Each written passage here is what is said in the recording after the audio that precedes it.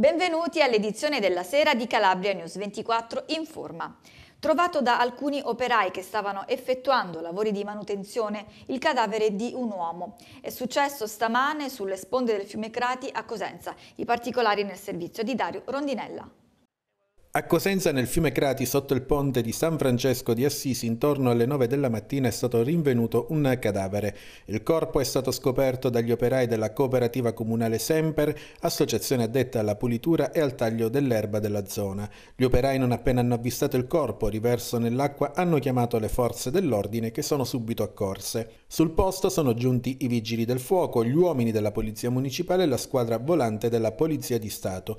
Dopo essere stata delimitata la zona, zona gli uomini della polizia scientifica hanno effettuato i primi rilievi prima di tirar fuori il corpo. Dalle indiscrezioni delle prime indagini il corpo appartiene ad un uomo sulla cinquantina di nazionalità italiana tossicodipendente. Infatti sul greto del fiume sono state ritrovate delle siringhe oltre ad una lattina di birra. Nel momento in cui il corpo è stato riportato a terra si sentiva ancora un forte odore di alcol particolari che secondo gli inquirenti lascerebbero pochi dubbi sulle cause della morte di natura accidentale. Il corpo dell'uomo adesso è stato affidato al medico legale che in base agli esami autoptici stabilirà le cause e l'ora del decesso.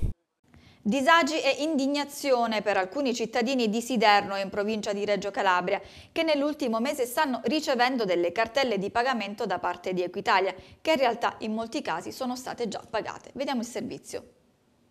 Non basta l'esosità dei tributi, arrivano anche le cartelle pazze. La denuncia è del circolo del Partito Democratico che con una nota a firma di Alessandro Archinà, componente del comitato direttivo, indirizza al sindaco Pietro Fuda la segnalazione dell'estremo disagio che si è venuto a creare per molti cittadini e per gli stessi uffici comunali. Ormai da quasi un mese, si legge nella lettera, numerosi cittadini si vedono recapitare da Equitalia, su indicazione dell'organismo straordinario di liquidazione, cartelle di pagamento relative alla riscossione del ruolo idrico degli anni passati, ante 2013. Nulla da obiettare se non fosse che nella maggior parte dei casi si tratta di cartelle cosiddette pazze, giacché afferenti canoni annuali già versati dai contribuenti nelle casse comunali.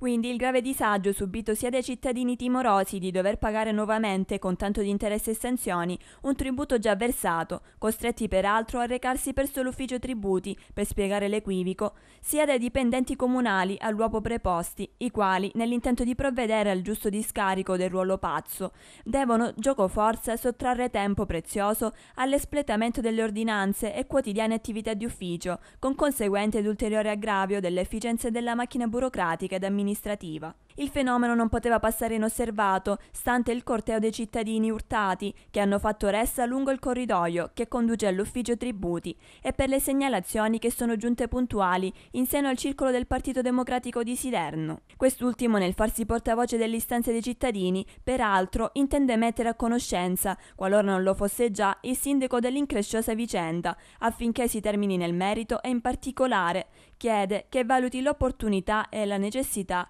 presso e per il tramite dell'organismo straordinario di liquidazione, di disporre una verifica approfondita, confrontando i dati in possesso, le istanze di discarico pervenute, gli annullamenti concessi e la necessità di sgabio per i cittadini, che da un semplice controllo risultassero virtuosi, con conseguente annullamento in atti d'ufficio delle restanti cartelle pazze. Celebrata anche a Catanzaro la giornata dell'unità nazionale e delle forze armate.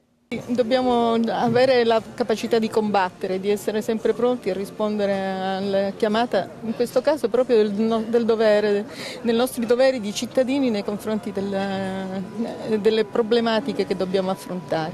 Se stiamo tutti uniti, se riusciamo ad avere la forza di continuare a combattere, come per esempio ho visto nelle tante interviste che hanno fatto in questi giorni alle, a mh, cittadini delle, delle popolazioni colpite dal terremoto, la dignità e la forza di quelle quelle persone sono veramente un esempio per tutti quanti. Il silenzio è, un segno di rispetto anche, perché, per la, perché, le manifestazioni non devono essere considerate come un di più o come una forma, eh, una passerella. Le manifestazioni servono ad, ad unire la gente in quelli che sono i valori fondanti della nostra patria. Io non sono un amante delle manifestazioni, ma ci sono delle cerimonie che vanno e devono essere essere fatte perché devono, sono simboli per tutti noi.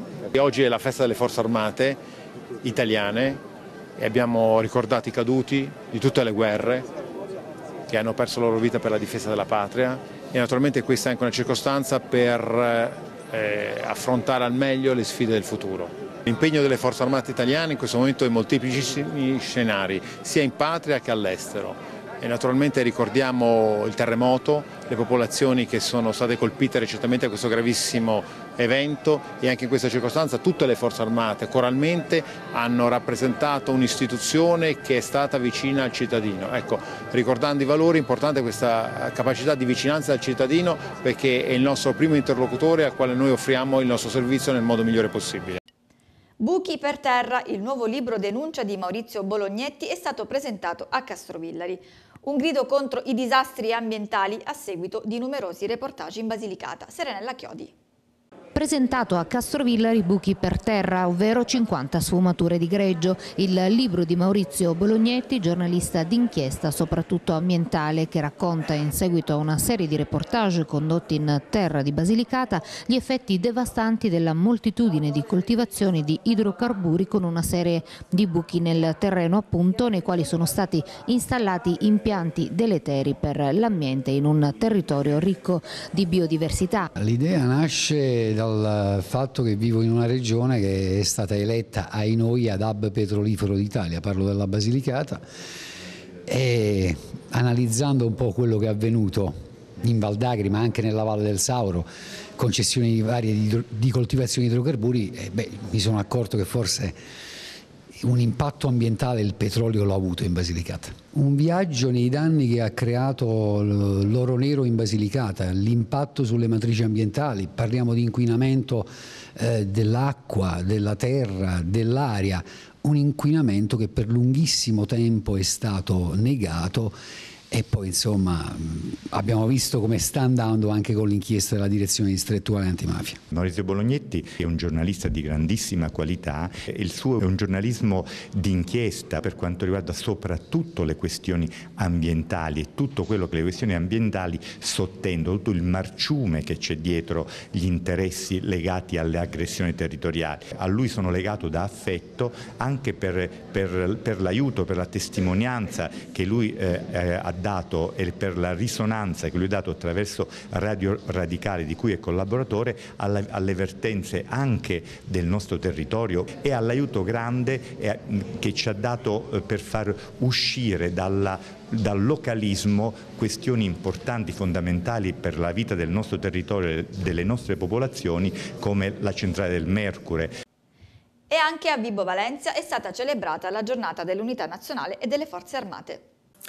Semplice ed essenziale è stata a Vibo Valenza la cerimonia celebrativa della giornata dell'unità nazionale delle forze armate, in linea con quello che sta succedendo in centro Italia, nelle zone terremotate, dove i tanti servitori dello Stato sono impegnati senza sosta nel difficile compito di portare soccorso ai residenti in difficoltà. Dopo lo schieramento di tutti i rappresentanti delle forze armate presenti con i rispettivi comandi in provincia e dei dei corpi in quiescenza, il prefetto vicario ha deposto una corona d'alloro presso il monumento dei caduti, eretto di fronte al Tribunale Vecchio di Corso Umberto I. Quindi sono stati eletti il messaggio del Capo dello Stato e la preghiera alla patria. Ed infine è stato suonato il silenzio da un allievo del liceo musicale di Vibo Valenza, alla cui orchestra è stato anche affidato il compito di intonare l'inno di Mameli. Le terme luigiane di Guardia Piemontese resteranno aperte fino al 10 dicembre prossimo, grazie al buon afflusso di curandi. Il noto stabilimento termale calabrese conferma l'incremento delle cure con una buona percentuale di curanti extraregionali. Sebbene ci sia stato per l'anno in corso un ritardo nella preparazione della stagione, il risultato delle presenze alla data del 31 ottobre mostra una riconferma e addirittura un miglioramento dei dati registrati negli anni precedenti e tali dati su cure clienti potrebbero ancora crescere dal momento che la chiusura della stagione termale è stata appunto prorogata.